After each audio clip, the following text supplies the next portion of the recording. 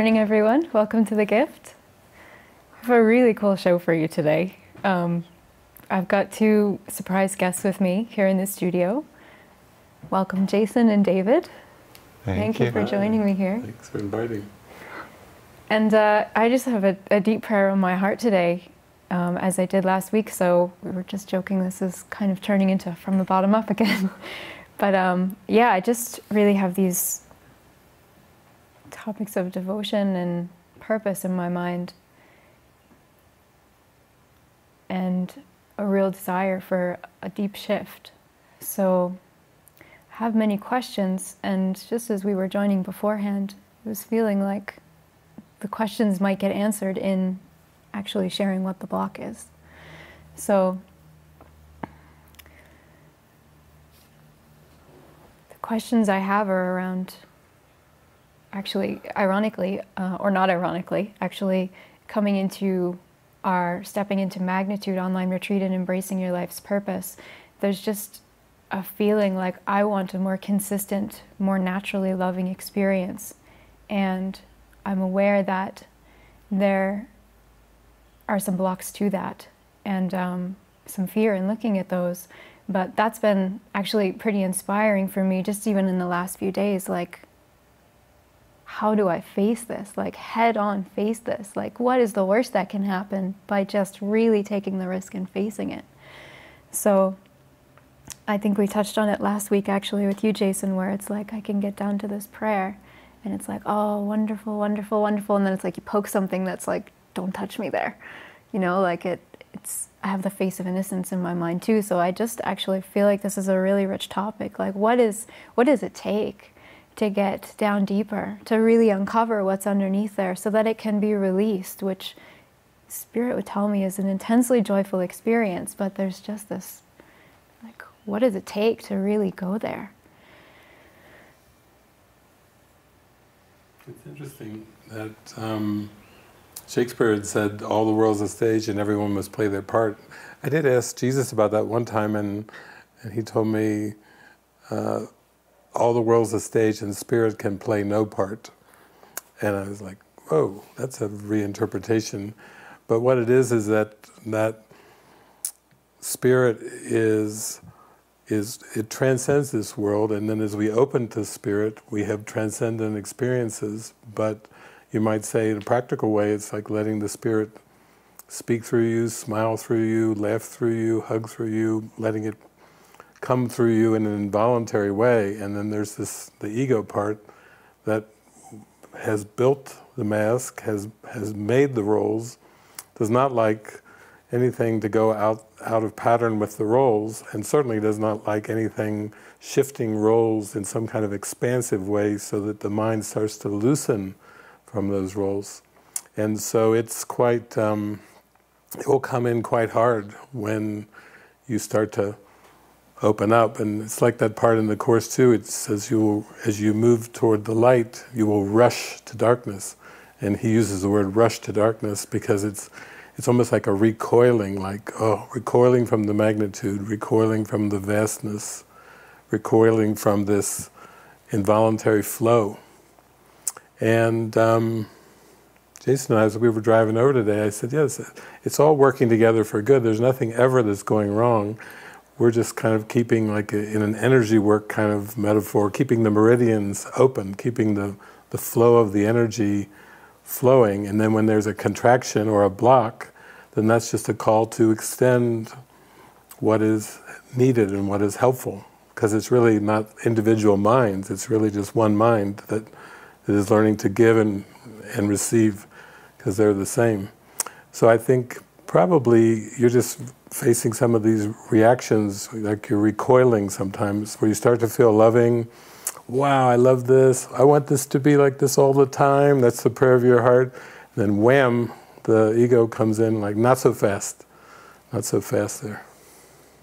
Feels like a bit like that scene from the movie Tangled, where she leaves the tower and it's like, this is great! And then, you know, the next minute she's like rocking back and forth, like, oh, what have I done? What have I done? But it, it is, it's, that's the experience. There's not a consistency where it, it feels like um, two steps forward and one step back, or, or maybe one step forward and two steps back sometimes. But um, yeah, another one of the questions I had was just really how to keep that fire burning so so um, so bright. Like how to keep stoking the fire so that the purpose really is out front in everything because it's yeah like i just feel like the i live in this community which is devoted to removing the blocks to love and there's still an element of like we were talking about accepting the means there's still an element of that that hasn't quite clicked in yet. It's almost like i'm still living in the world in a way like there's not a full recognition of what this is really for and what it takes. So i think that's that's the prayer for me is just like what does it take to get through that layer? But I, I hear what you're saying is just like when there's something to communicate really communicate it whether it's to extend the know, to my brothers or or clear something from my mind which is the same thing it seems. Yeah you talked last week both of you i watched the show and you were really getting in really fully into commitment. And then you shifted from there and you kept going right with it. And then you got into the idea of temporary commitments which of course since everything of time and space is temporary the, the spirit will use that. And how you have to go through those temporary commitments to build confidence and strength in what's going to be a, an ultimate commitment to, to oneness and spirit and God. So I think that's it's almost like this week is kind of building on that that commitment talk that you had because because that was leading more and more towards purpose. That's a lot of times people will say to me, "Commit to what?" You know, they almost a suspicious look in their eyes, like, yeah, "What am I committing to?" And then it really opens the discussion into purpose because you really have to kind of get clear on that before you can fully give your heart over in a commitment. And I think that's also leads the way to another topic you mentioned this morning was devotion when we were talking earlier. But you can't really even, I mean, you could say the same thing. People devote to what? Like, I, I better be really clear what I'm devoting to because I'm not going to commit or devote to something that is not truly in my heart expansive, free, loving, joyful. You know, I really uh, have to to get a grasp of that and, and get a, a, clear idea of the direction. So I think that's that's great. This is like building off of the whole talk last week. Yeah, I don't remember yesterday we were talking about something in our big meeting too with the table, and they said, "Why? Why?" Do you remember what you said? What was the? Why don't you? Oh yeah, um, it came down to basically I'm going to be kicked out. Right. But I mean that in is what uh, you were mentioning too, David. Like I'm not going to be liked. You know, like if they see. I mean, it's like the oldest one in the book in a way, but there's something in my mind that's just like, no, that's true. You cannot go there. Don't go there. Like, don't bring this up. Whatever it is, it's not even Yeah. you know one thing. It's like any number of tiny compromises that shut down Yeah. and then just clam up and then you don't even know why Yeah. you're not experiencing the natural devotion that is there it's like i can feel it it's there i know that it's there i know it can feel the expansive experience and then it's like you know like a false start like You're trying to like manage the form, like do really well in the projects, so that nobody would see how terrible you are underneath in your perception, you know. And then we were kind of joking because you were trying so hard to do the projects, but no matter how hard you tried, the project they were starting to get really funky, and it was like you relaxed in that. Actually, okay, I'm never going to be able to get them right, and then now I can face this getting kicked out thing. But I, I really loved what like I could really feel what David was saying. Like the mind, just before we had a little brief meeting, either talks and talks and talks and talks to avoid letting the spirit pour through, which is we're trying to raise leadership in the community as part of little tweaks, right? Or you clam up, and you were saying that you clam up, and maybe that's why you're coming up to Kamas for a few weeks, is to really focus on slowly letting that voice come through to fa- and face that abandonment. Like you're not going to get kicked out if you speak the spirit. Mm-hmm. It's really the ego saying you're going to lose me if you speak the spirit, and it's true, you will. yeah. yeah i was reading um, in the fear of redemption part or the part of the course and i was actually reading about it before our last online retreat and i, I just opened to it and i was like oh my god this is what's speaking to me right now this fear of redemption because it's not that i'm maybe maybe this is the question it's not necessarily that i'm afraid of you know that coming out it's more like what's underneath that is that it would just you know my mind would blast into light Yeah, that's very much like the obstacles to peace in the Course. The fourth obstacle is the fear of God's love, which really is the fear of redemption, but it's so described so vividly in there. I remember one time I was with a friend of mine, we were, I think, touring, we were driving through, I think, Wisconsin, and uh, she was driving the car, and she said, Well, put the Course on. Or, no, she said, read, read me the Course. So I popped the book open and I started reading the obstacles to peace. And by the time I got down to the fourth obstacle, fear of God's love, she, the car was swerving all over. She was, couldn't even keep the car on the road. I said, we better stop here. But, but I think it's, you know, it, it is like getting to an ultimate sense. Whether you call it, I'm going to get kicked out, whether you call it, I'm going, I'm going to be rejected, whether you call it abandonment issues, doesn't really matter. It's, it's very deep. It runs all the way back to the core belief in separation. That's why it's so intense. That's why the, the emotions are so strong. And I do remember, I've had this talk with so many people, but there was a time when, uh, when Frank and I were just there, just the two of us, and I think, and he looked at me and he just looked me straight in the eye and he said, My greatest fear is that you, you're going to reject me, the community is going to reject me. Some, it was a, a rejection fear. And it reminded me of that, uh, that, that trilogy I was talking about last night in the car, you know, Unbreakable and Split and, and this last one, Glass. It's this dissociative identity disorder that our friend Bob Rosenthal is so, so uh, good at talking about, so expert, at, and at how when there's a core memory, that's what they showed in this final movie, Glass, the third of the trilogy. They, we got to see the core memory in the Samuel Jackson character, the Glass character, the the core memory in the guy with the, the nine wow. personalities, alters, and then the, in uh, Bruce Willis's character too, uh, like uh, like an overseer character. We got to see the memories. There was a psychologist too who got them down to these core memories, which were of just total rejection, abandonment, you know, pain, extreme pain, as far as uh, the Samuel Jackson Glass character, and and so this whole idea of making a fragmented world and even having alters, I think of it as, as we have on this planet, we have like seven billion alters in one body of, of Earth. You know how they have alters in a, in a body and multiple personality or DID. And really that's what's going on and there's it's such a big cover-up. It's like the big cover-up of identity, dissociative identity disorder. And and I know it's so huge because even when I was having a sandwich afterwards in the mall, this guy walked by with this DID um, T-shirt, and I'm like, look, look, look at that! You know, it's just coming at me from everywhere. It's just reminding me. It's like spirit is being very playful. Like, yeah, we've got some dis- dissociative identity disorder going on, but you have to be willing to let that arise, to get in touch with that memory, and that's what the fourth obstacle is: is really getting in touch with the block that, that the ego said, "You swore in blood never to come back here. You know, you swore we would have. We had a deal going. It was a bargain with the devil. You swore never to come and, and lift this cornerstone." And the ego says, will, "You will die if you lift this cornerstone. You don't think God's going to let you off scot free for this detour into fear and separation, when actually."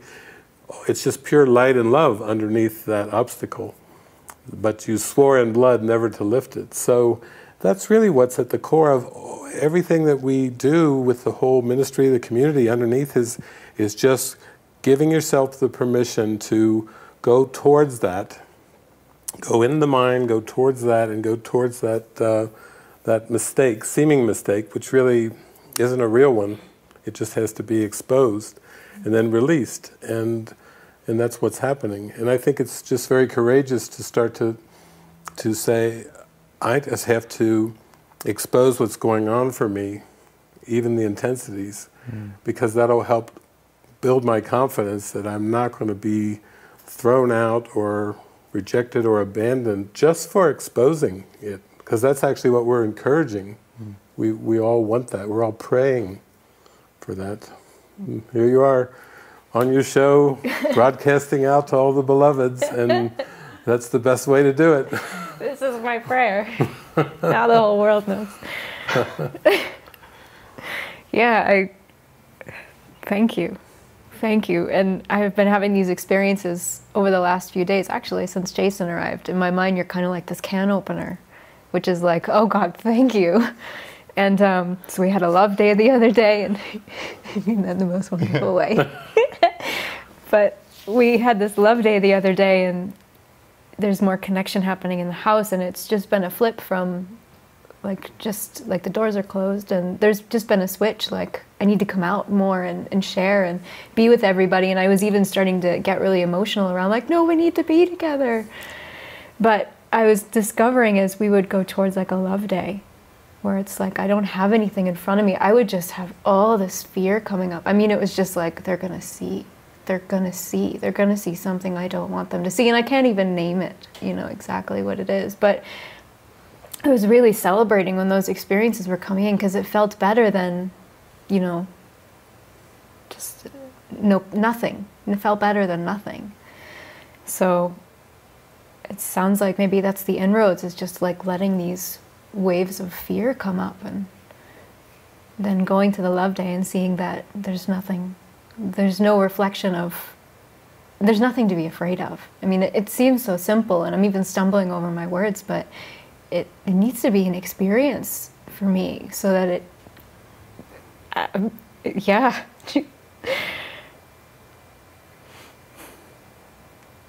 yes, I really feel that's what the prayer of your heart is. Like you were talking not too long ago, how you, you know, you came from working at the typical workaday job in the world in a cubicle. So you literally came from a cubicle, almost cubicle boxed thinking of I'm here to put my time in inside the box, earn my pay, then I get my off time off to spend it any way I want and spend my pay and you typical boxed thinking of the world and and actually you know you're here to expand your perception that's really the only use of the body that's the only use of all the symbols is to expand your perception to a, a much larger perception of yourself and then ultimately to to transcend perception entirely and go merge with spirit.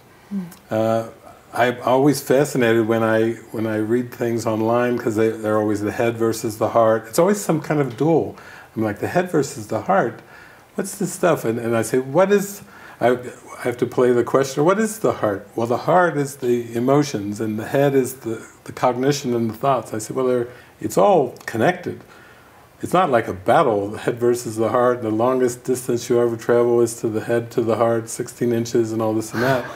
And then I, there's this whole thing about intuition versus rationality, and, and I always notice how rationality seems to get a bad name. It's like, come on, get out of your logic. Get out. Actually, the Greeks taught us that there was a great value in logic, and, and I love the Course in Miracles because Jesus is constantly, through the whole book, using logic. It's just that it's divine logic. It's just that it has a true causation. You know, spirit is in a state of grace forever. Your reality is only spirit. Therefore, you are in a state of grace forever. That's an example of divine logic. That's a perfect example of that. But you see how deep it goes whenever people are caught up into the false causation of this world and and trying to fit into the world and balance the world and so on and so forth, then they don't really realize that their divinity is calling them to wake up from this world. And part of that is allowing yourself to be spoken through. And you can't ultimately do that fully as long as you retain a self-concept, as long as you retain a personal self-concept then you'll be afraid of the Spirit because for the Spirit, everything you think and say and do teaches all the universe. You know, it's so vast. So Jesus was just a good example a couple thousand years ago that, you know, I think people were a little bit okay with him as long as he was a, a carpenter's son as long as he was a, a son, as long as he was, you know, a Galilean, as long as he was these things, you know, it was fine. And then when he started speaking, you know, I am the way, the truth, and the life. No one comes to the Father but through me. And before Abraham, I was. I am. They, they just got. They reacted with fury. And then when he would go into the synagogue and, and, be able to speak to the, you know, to the rabbis and to everyone there and, and say, your sins are forgiven. Wow, did that create a havoc. Your sins are forgiven. You know, right away they came back, what are you doing? Who are, only God can forgive sins. and they, he took huge flack for saying, your sins are forgiven. When he was just, again, speaking from eternity and, and doing what he was given to do. So I think we have to all realize that we're all being called by Spirit. We're all going to reach that phase where we have to let the Spirit speak through us. And we have to do it no matter what seem to be the apparent consequences in the world, because it's like washing away this idea that there's something outside of us that can hold us back, or somebody's going to pull the switch, or and you're saying, you know, I'm afraid I'll get kicked out. I've been hearing Lisa talk about that for the last 12 years. The happier she got, the more she was sure she was going to get kicked out.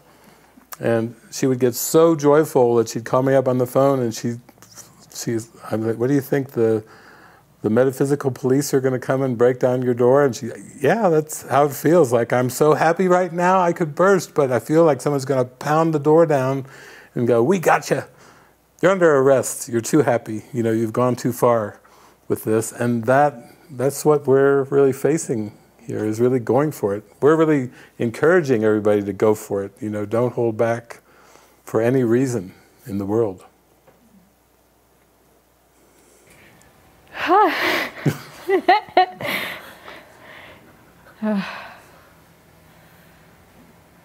I think I just need to take that in for a minute, unless you guys want to keep going. That's a good phase to be in. You don't have to look at some block or anything. It's like, oh my God, I just have to say what's coming to me. That's it. Like that has to be the spirit's answer. It has to be more inspiration, actually, because I am inspired. That's maybe even why it's coming up with such intensity now. It's like, yeah, okay, you can't do this anymore. Like right. you know what the answer is. You need to start speaking, and and then just be willing to then face whatever mm-hmm. comes back. Uh, yeah, it's like this invitation into the out of the box thinking, and the ego's like, that's that's you know. Hmm. The ego obviously says that's what um, where you can't go. But yeah, just love what you were saying about logic and the head and the heart and all that stuff. It it makes things very simple. Like I don't have to figure anything out either. It's just I hear what you're saying very clearly is you need to let yourself be spoken through and like, okay, that's practical. I can work with that now. It's practical. I think it also is the symbol we have a symbol of of spiritual community, which is more of there's a there's a strong welcome and there's an embrace in the sense that that's really why people came. Um, I've had heard people even going over. I think Anna was going over recently her devotional stay application from years ago. Just reading through it again, going, "Oh wow, that's that's right. That's why that's why I came here." She was reading the answers to her questions that are in even the devotional stay application, and she was getting all lit up because she was like, it was stirring up, it was activating a remembrance of like, oh, that's why I came here in the first place. And I think also that that you might say that that spiritual community or your relationships, your close relationships, are symbols that are being used by the Spirit to build your confidence in this involuntary nature of being spoken through. So it's not like, you know, you, you have to like go out into the street corners of Ajijic and, and say, you know, woe to you who turn away from God, you know, like John the Baptist or something, you know, from years ago. You actually have, have a beautiful constellation of, of symbols around you, and there's it's a, more of a gentle practice of, of speaking it. You know, it takes a lot to even speak it to those that live in the same house that you live in much less go out on the onto the public street corners and like a like a town crier and say God is real, forgive and you shall be forgiven. You know, it's this is more of a of a easing your way into building a confidence with that, and that's exactly how it works, and that, and that's how we've worked in this community for years. Even when somebody would would say have a self concept of, I'm not a good speaker, or I, I I'll clam up, or I can't say these deep truths in front of people. Um, it's it's an opportunity through broadcast, through community gatherings and things. Um, I think when Deanna and I would do a lot of those movie gatherings, you know, she felt she would just relax. We'd get so into the movie, and then I would kind of just prompt her with different things, and off she'd go, even though it wasn't something that was naturally comfortable for her in terms of the way her her life had developed, but it was something that the passion took over. And even that, when you have you're with the right configurations of people, and the prompts come in, and then away you go, and it looks like you're you've been doing it for 25 years. So I see how gentle the spirit is. The spirit's always giving us what would help us.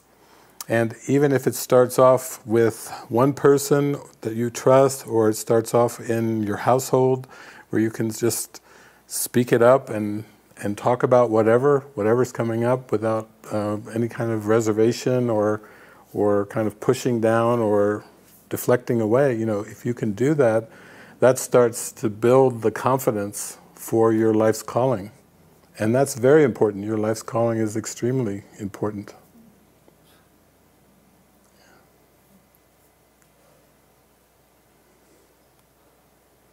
That goes for all of you too.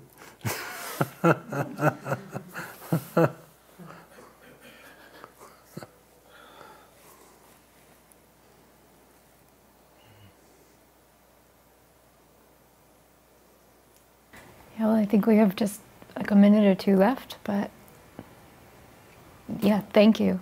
Thank you deeply. It's like there's still something that needs to settle into my mind, but I can recognize that this is a symbol for like really taking those steps. So Yeah. that feels really good. Grateful. Oh, it's beautiful.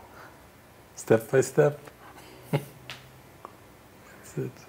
Yeah, I was just thinking, we were talking too in the car about Lucy, because for me right now it feels like from morning till night, it's like that blue crack thing, you know? And like, how much more are you going to force me to take? You know, I'm not quite like Lucy where she says, give it to me all, you know, but Morgan Freeman says, are you sure? Like even if I just, I'm so intense and then I'll just, okay, I'll watch an episode right before I go to bed, which means less rest, but I can't even really do that. It just has to. And then in that, I was just journaling with Jesus, and he said, "Yeah, you need to do this, because then, then from that place, you know, the the egoic mind is actually silent. You're so being done through me, and then there will be small periods of quiet and space that you're not used to, and I'm, that's coming to me a deeper and deeper rest. But I was just thinking, in a bigger context, each of us is going through the devotion in a different way. Like that's what's for me now. And yet, on our last retreat, I noticed how you were really focusing on, okay, everybody, just relax, calm down. So it's just such an individualized mm-hmm. Approach to this devotion, and yours is speaking, speaking up. So every yeah, we all have our different phases. Yeah.